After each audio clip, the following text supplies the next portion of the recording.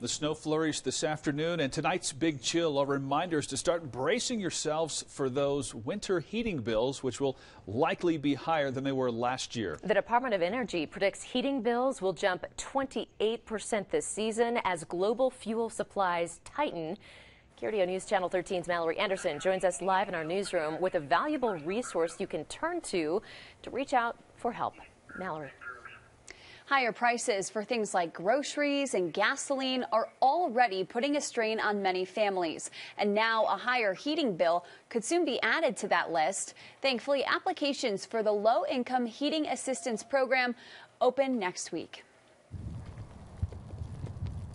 With the first true signs of winter arriving this week, it may also be the first time many are turning on the heat in months. But if you're worried about the cost of staying warm this winter, help is available. The Low Income Energy Assistance Program, also referred to as LEAP, assists low to moderate income households pay their winter heating expenses. Applications for LEAP open up on November 1st, but that money is actually available all winter long. So if you realize in February you're having trouble keeping up with the bills, you can still apply. LEAP's requirements are also more generous than some other programs, even approving those who might not typically qualify for assistance. So, a household size of one, for example, the maximum monthly income level is $2,880 a month. And for a household size of four, it's $5,539 a month. Colorado Springs Utilities says it also offers payment plans and their own local assistance program.